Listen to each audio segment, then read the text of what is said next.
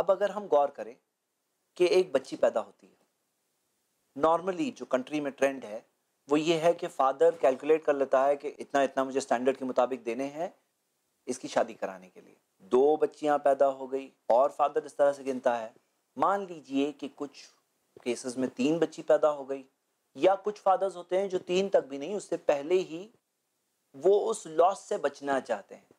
तो आप बताइए कि क्या करते हैं लोग? हमारे माशरे में क्या करते हैं लोग इस प्रॉब्लम से बचने के लिए? डाउरी के प्रॉब्लम से बचने के लिए। क्या सोल्यूशन पुराने है जमाने में जिस तरह से बच्चियों को ज़िंदा दरगोर कर दिया जाता था आज के टाइम पर फीमेल फुटसाइड है। बिल्कुल।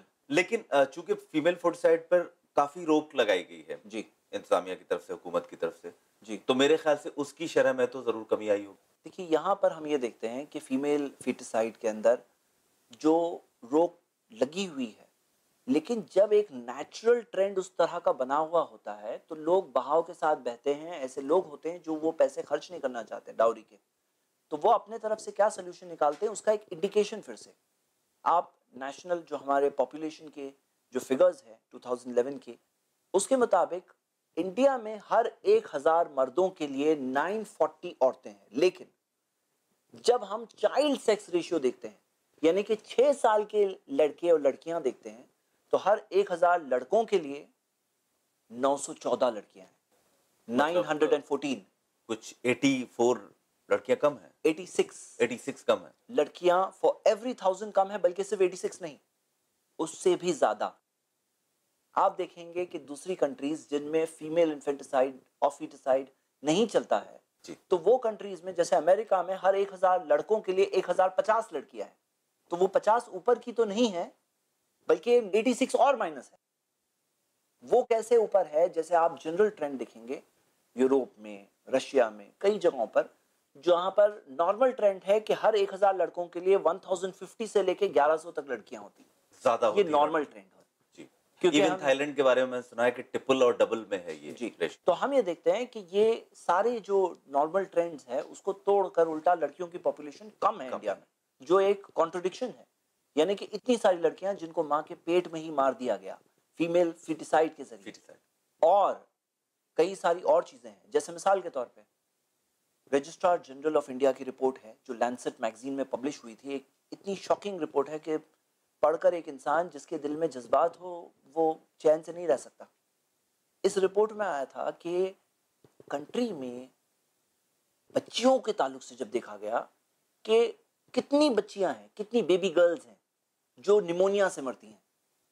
तो एक लड़का निमोनिया से मरता है तो उसके कंपैरिजन में कितनी लड़कियाँ हैं जो निमोनिया से मरती हैं? पाया गया कि फाइव लड़कियाँ एक लड़का डायरिया से मरता है तो कितनी लड़कियाँ डायरिया से मरती है? पाँच लड़कियाँ।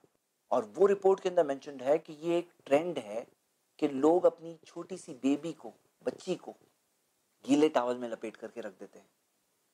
ताकि उसे निमोनिया हो जाए। जब निमोनिया हो जाए और उसकी डेथ हो जाए उस वजह से तो cause of death death certificate में आएगा डायरिया लिखा जाएगा। उसके अंदर निमोनिया लिखा जाएगा या डायरिया लिखा जाएगा। तो हम ये देखते हैं कि ये एक क्या है? ये एक ऐसी चीज़ है जो उस जमाने में लोग जैसे आपने बताया कि ज़िंदा दफन किया करते थे आज अगर कोई ज़िंदा दफन करेगा तो पुलिस केस हो जाएगा। जी लेकिन आज लोग इस तरह की चीज़ें एक और चीज़ है यूनिसेफ की एक रिपोर्ट है जिसके अंदर आता है कि फीमेल इन्फेंट मोर्टालिटी रेट लड़कों से 40 परसेंट ज़्यादा है। वो क्यों ज़्यादा है? उसे कहते हैं नेग्लिजेंट होमिसाइड लड़का बीमार हुआ उसको बराबर से दवा दी जाए उसका बराबर से ख्याल रखा जाए जल्दी रिकवर हो जाए उसी तरह उसकी किसी की बच्ची बीमार पड़ी तो उसको नहीं दिया जाएगा। मतलब दवा नहीं दी जाएगी। प्लानिंग करके नहीं लेकिन एक। नेग्लिजेंस के साथ ये भी एक चीज़ है। यानी अलग अलग वजूहत की वजह से फाइनल रिज़ल्ट क्या है कि हर एक हज़ार लड़कों के लिए 914 गर्ल्स हैं।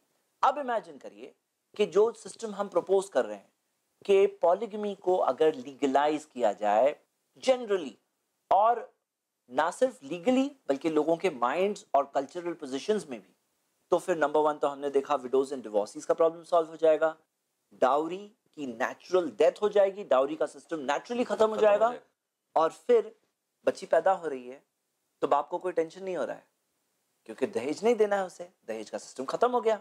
और दहेज का सिस्टम खत्म हो जाने की वजह से क्या होगा कि वो फादर को कोई टेंशन ना होने की वजह से वो खुश होगा उल्टा। उल्टा बॉय पैदा हो रहा है लड़का पैदा हो रहा है तो वो लड़के को मेहर देना होगा। तो फादर को शायद तो कहीं एक ये ऑपोजिट टाइप का एक अपोजिट टाइप में तो नहीं बन जाएगी कि लड़कों के पैदा होने पर लोग परेशान होने लगे। नहीं क्योंकि लड़का खुद स्ट्रॉन्गर होता है वो जाकर अपना कमा सकता है वो कमा करके दे देगा अपना मेहर। लेकिन लड़की के ताल्लुक से जो प्रॉब्लम्स हो रहे थे वो होना बंद हो जाएँगे। बिल्कुल नेचुरल सोल्यूशन है।